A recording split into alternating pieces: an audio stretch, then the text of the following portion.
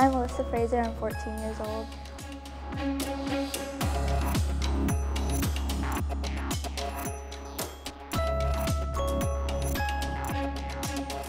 Hi, I'm Bayleigh Fleming and I'm 15 years old.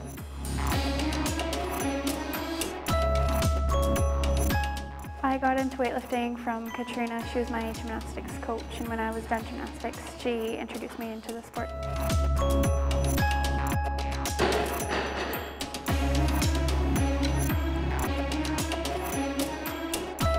Katrina was my gymnastics coach for eight years and when she moved to coach weightlifting and Bayleigh and Emma started weightlifting and they kind of told me to, that I should try it out sometime. And so I came and I really liked it. So now I've been doing it for the past year and a half.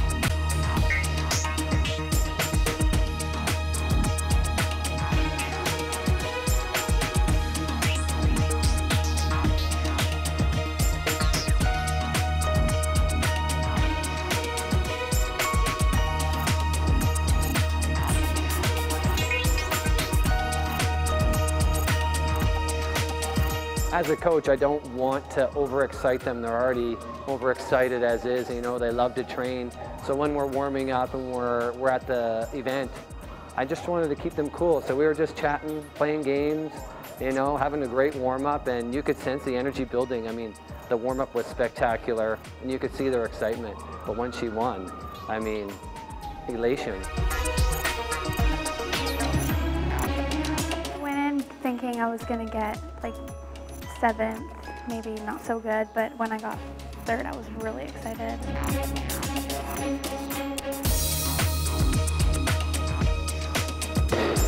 It was really exciting and a really great experience to go with Bayleigh and compete in Toronto. It was different.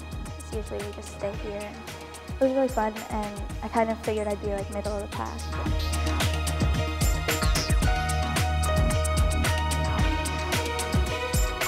People I'm a weightlifter, they usually think I'm lying because I'm so small. Most people laugh and I'm, I'm not kidding. I'm actually a weightlifter and but you're so small. How do you? And they don't believe me when I say how much I lift.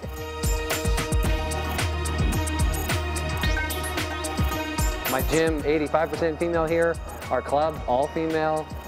It's, it's what I want. They should be training just like men and I'm actually, they, they almost listen and do more. You gotta do it on your own. And if you want it, you go out and get it. But training has to be fun. You, we don't train 100% all the time. It's fun, we laugh, we talk, but when we work, we work. Three years ago, I never really thought Olympics would be something for me or even possible going, but now, yeah. What's next for me is um, just right now working on my totals and bringing them up, and then event. Well, I'm going to Westerns in March, and then eventually Olympics, hopefully.